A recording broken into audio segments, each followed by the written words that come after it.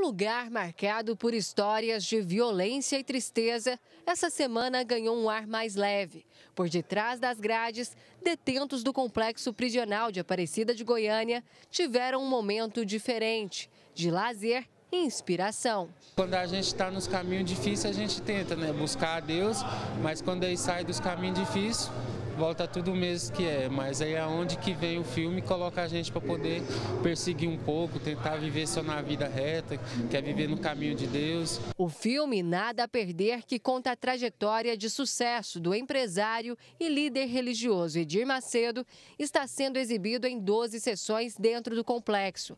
O longa faz uma viagem ao tempo e reconstitui o Brasil dos anos 60 aos anos 90 e ainda aborda um dos momentos mais difíceis enfrentados pelo bispo, o momento em que ele foi preso. Uma oportunidade dessa que a gente está tendo, para a gente está sendo uma benção, porque é uma lição de vida, isso está servindo de exemplos para muitos aqui que com certeza já passaram por isso, tentaram buscar Deus lá fora, mas o diabo usou uma brecha e desviou eles daqui. E nada melhor do que mostrar essa história dentro de um presídio, onde tem pessoas que realmente precisam superar né, as dificuldades, precisam superar os erros que cometeram e realmente começar uma nova vida. Mais de 2 mil presos já assistiram ao filme Nada a Perder aqui no Complexo de Aparecida de Goiânia. Essa é a primeira vez que uma sala de cinema é montada aqui. É um momento inédito no Brasil, eu quero dizer, porque nunca ocorreu o fato de uma exibição de um filme